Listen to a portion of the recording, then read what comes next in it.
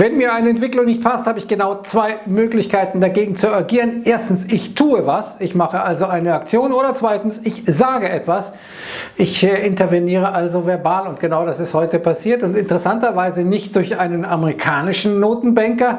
Es geht nämlich um die ansteigenden Renditen für Staatsanleihen, die eben die Staatsschulden verteuern würden und die Amerikaner, die werden in 2021 so viele Staatsschulden machen und das Ganze durch Anleiheemissionen finanzieren dass man sich schlichtweg eben zu hohe Renditen, zu hohe Zinsen nicht wird leisten können. Also muss da etwas getan werden. Und interessanterweise ist es heute Madame Lagarde, die das äh, gemacht hat, also eine Europäerin, die gesagt hat, ja, guckst du, wir schauen uns schon sehr genau die Evolution, die Entwicklung also der langlaufenden Renditen, respektive der langlaufenden Zinsen eben für Staatsanleihen an. Und sie da, es hat geholfen, die zuvor äh, deutlich gestiegenen Renditen für Bundesanleihen, respektive weniger negativ gewordenen Renditen für Bundesanleihen, sind dann wieder nach unten gekommen. Also Ziel dieser Verbalintervention erstmal erreicht. Interessant ist, dass der amerikanische Fed-Kollege Barkin heute gesagt hat, ja, die äh, Yields, also die Zinssätze für die langlaufenden Staatsanleihen, die seien jetzt keine problematische Situation.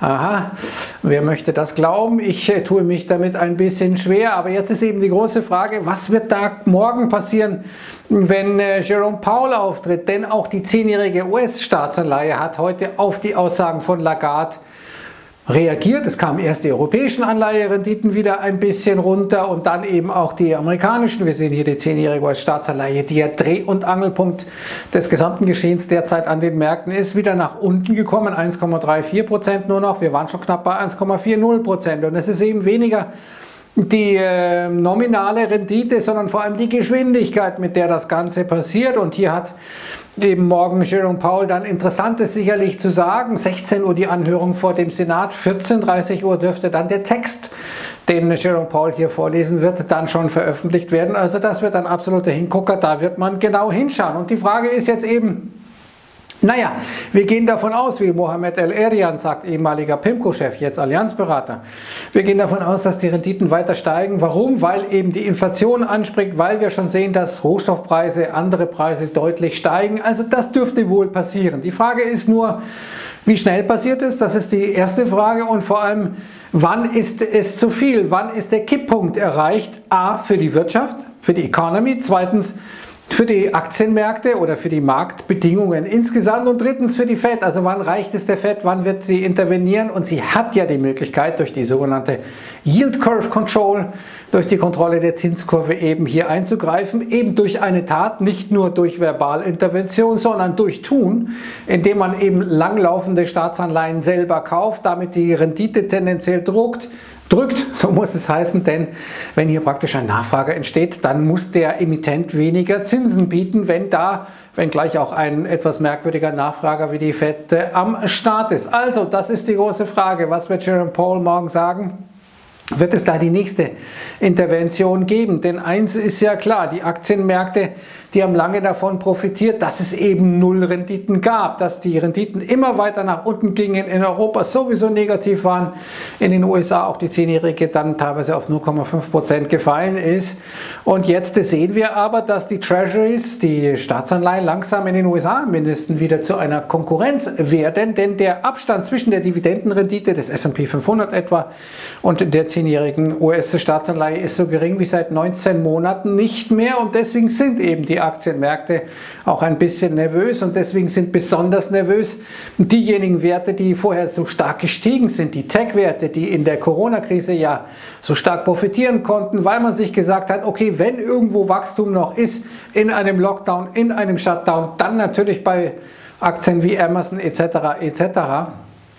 Dementsprechend sind die damals gestiegen. Jetzt sagt man sich aber, oh, da gibt es ja viele, die haben äh, praktisch äh, sind abgestraft worden, die sind jetzt viel billiger und die haben jetzt viel mehr Wachstumspotenzial als etwa die Tech-Konzerne. Deswegen ist meistens in Situationen, wo die Renditen für Staatsanleihen steigen, auch der Tech-Sektor eher schwächer, der Wachstumssektor eher schwächer, weil man sich sagt, ja, dann gucken wir woanders hin, da gibt es doch auch schönes Wachstum, äh, das wollen wir uns ins Portfolio holen und es leiden eben dann dividendenstarke Titel wie Versorger die eben Rendite bieten, die sonst nicht vorhanden ist, wenn die Renditen gegen Null gehen bei Staatsanleihen. Jetzt steigen die Renditen für Staatsanleihen, also werden Versorger wieder uninteressant. Das sind sozusagen die hm, Verschiebungen, die wir uns äh, jetzt äh, betrachten können. Und wir haben natürlich eine Mega-Hosse jetzt erlebt seit dem Tiefpunkt äh, der Corona-Krise. 19. März war der Tiefpunkt, aber 19. Februar, nämlich letzten Freitag, war der Hochpunkt vor einem Jahr. 2020, da erreichte der S&P nochmal ein Hoch und dann ging es einen Monat lang genau einen Monat lang ziemlich saftig nach unten. Und wir sehen diese Erholung, die wir jetzt gesehen haben seit dem März mit 75 Prozent, das ist der zweitgrößte Bullenmarkt, was die äh, prozentuale Entwicklung betrifft, mit 75 Prozent nach dem Jahr 1932. Also äh, wieder mal ein wunderbarer, toller Vergleich. Nach 1932 wurde es dann ja vor allem in Deutschland sehr, sehr viel besser, nicht wahr? Also es ist äh, schon ein gigantisches Ding, was da passiert ist auf der Oberseite und es schien ja auch risikofrei zu sein. Die Notenbanken stützen uns, wir haben Stimulus, äh, die Wirtschaft wird sich erholen, aber jetzt sieht man, oh, äh, das könnte so ein bisschen überschießen, ein bisschen überhitzen, die Inflation kommt, dann sind die Notenbanken in der blöden Situation, äh, dass sie ja eigentlich keine steigenden Renditen wollen aber auf, und Zinsen wollen, aber auf der anderen Seite ja irgendwie die Inflation nach unten kriegen müssen. Also man sieht jetzt so eine gewisse Zwangslage der Notenbanken und sagt, ja, wie soll das wo soll das enden? Was kann da alles passieren? Also man stellt sich jetzt zumindest die Frage, ob das gefährlich sein könnte, wo man vorher keine Gefahr gesehen hat. Und wir sehen das besonders gut abgebildet eben bei den Tech-Werten. Hier sehen wir den Triple Q, das maßgebliche ETF äh, auf den ähm, Nasdaq. Und hier sehen wir doch deutlichen Druck nach unten mal ein Abwärtsgap an einem Montag. Was haben wir alles schon gehabt? Stimulus, Hoffnung, äh, Handelskrieg, Hoffnung, Impfstoff, Mit Aufwärtsgaps, Aufwärtsgaps, Aufwärtsgaps. Und heute machen wir ausgerechnet ein Abwärtsgap. Es ist eine gewisse Tragik hier erkennbar, meine Damen und Herren. Und wir sehen, es geht nach unten und wir sind jetzt an einer wichtigen Trendlinie, an einer wichtigen Unterstützungslinie. Wenn man so will, wir sind ein bisschen überverkauft. Im kurzen Zeitfenster übergeordnet sind wir nach wie vor extrem krass überkauft. Aber das ist also jetzt eine wichtige Zone für den Nasdaq. Und hier sehen wir mal den S&P 500 und das ist insofern interessant, als eben, wie gesagt, links, was Sie hier sehen, das ist der S&P 2020, 19. Februar, Hochpunkt, dann bums, ging es nach unten. Jetzt haben wir eine ganz ähnliche Formation aktuell, wenn Sie die beiden Hochpunkte hier mal vergleichen. Natürlich eine andere Zeit, natürlich unwahrscheinlich, dass wir so abstürzen wie vor einem Jahr, aber es ist zumindest technisch eine etwas angespannte Situation, sagen wir mal so, wo durchaus ein gewisses Potenzial mal für eine Korrektur ist, vielleicht nicht für einen Crash, aber durchaus mal vielleicht ein paar Chips vom Tisch genommen werden. Warum ist das so? Weil Geld schlichtweg teurer wird, auch wenn die Notenbanken die Leitzinsen dalassen, erstmal und absehbar, wo sie derzeit sind. Aber die faktisch am Markt aufgerufenen Zinsen, die Kapitalmarktzinsen, die steigen und dementsprechend auch dann die Erwartung an die Notenbanken, dass sie darauf reagieren werden. Wir sehen hier oben zum Beispiel den Unterschied zwischen noch der Erwartung im Dezember 2020, was die Fed tun wird in Sachen Zinsen und jetzt der Entwicklung heute, da ist man doch ein bisschen hawkischer unterwegs, geht also davon aus, dass die Notenbanken früher etwas gegensteuern müssen. Das wird beginnen dann normalerweise mit dem Tapering, also mit dem Zurückfahren der Anleihekäufe Richtung Null und geht dann eben weiter, wenn es irgendwann nochmal passieren sollte, über eine Zinsanhebung. Wir sehen unten hier die Euro-Dollar-Futures.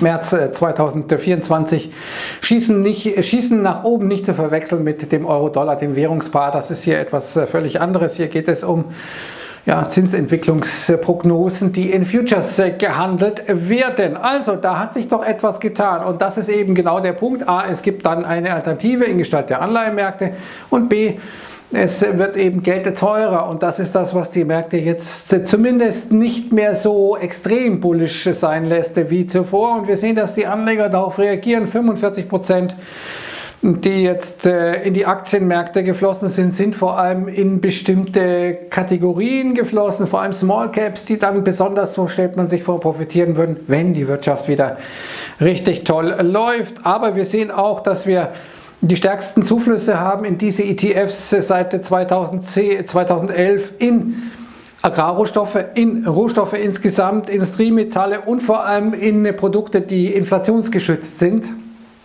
Also die Meute, die hat sich schon umorientiert, die Erwartung hat sich umorientiert. Man geht also hier anders mit dieser Geschichte um. Und wir sehen ja diese Preissteigerung hier Industriemetalle. Wir sind jetzt 11,41 Prozent äh, allein im Februar gestiegen. Das ist die beste äh, Performance in den ersten 40 Tagen, 14 Tagen eines Monats seit äh, September 2012.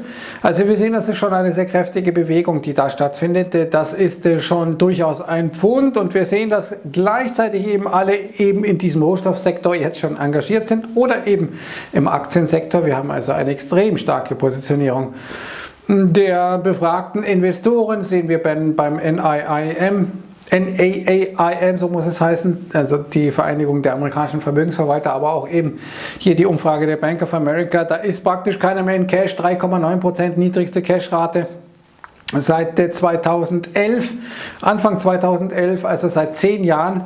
Äh, das ist äh, jedenfalls ähm, durchaus beachtlich. Und auf der anderen Seite sehen wir, dass die Qualität dessen, was da gekauft wird, gerade im Small Cap Sektor und Mid Cap Sektor, also bei kleineren und mittleren Aktien eher mäßig ist. In den USA sind 29 Prozent dieser Werte, haben in den letzten zwei Jahren keinen Gewinn gemacht. In Europa sind es immerhin nur 16 Prozent, also deutlich weniger. Und wir sehen das auch in dieser Rallye jetzt zuletzt oder in diesem Marktumfeld jetzt zuletzt vor allem diejenigen Aktien profitiert haben, die eine schwache Bilanz haben, nicht eine starke Bilanz, nicht gut sind. Hier sehen wir die Ratio zwischen Strong und Weak.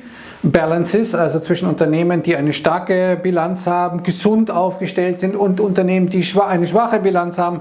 Und die ist jetzt äh, wieder deutlich schlechter geworden. Das heißt, die Schwachen werden gekauft, der Dreck wird nach oben gespült und das ist meistens kein sehr hm, gutes Zeichen. Und jetzt möglicherweise gibt es auch noch ein bisschen politischen Gegenwind, bevor ich jetzt so bärisch werde. Sie wissen ja, ich bin Dauerbulle, der größte Dauerbulle unter der Sonne. Ja? Also es hat noch nie jemand gegeben, der so permabullisch war wie ich. Äh, jetzt aber gibt es vielleicht auch ein bisschen Gegenwind in den USA politisch gesehen wird jetzt ein bisschen das aufgenommen, was in Europa ja schon jahrelang ein potenzielles Thema ist, nämlich eine Transaktionssteuer. Hier überlegt man sich, ob man eine 0,1% Steuer auf Aktien, auf Anleihen und auf Derivate vielleicht äh, einführen wird. Und Yellen hat heute gesagt, ja, so eine Finanztransaktionssteuer, da ist, äh, das ist schon lohnenswert, sich das mal anzugucken. Das wäre natürlich schon ein kleiner Hemmschuh, muss man sagen.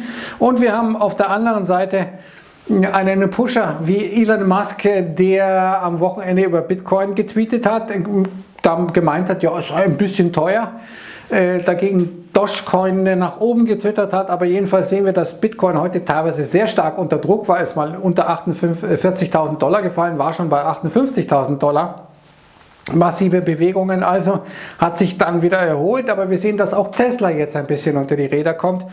5% geht es hier nach oben, nach unten und wir sind von der 800er Marke doch inzwischen schon relativ weit entfernt. Und relativ weit entfernt sind wir natürlich auch von einer gewissen Gerechtigkeit. Wir sehen, dass Großkonzerne wie Daimler natürlich äh, eigentlich sehr gut aufgestellt sind, weil China doch äh, sehr gut aus dieser Nummer rausgekommen zu sein scheint.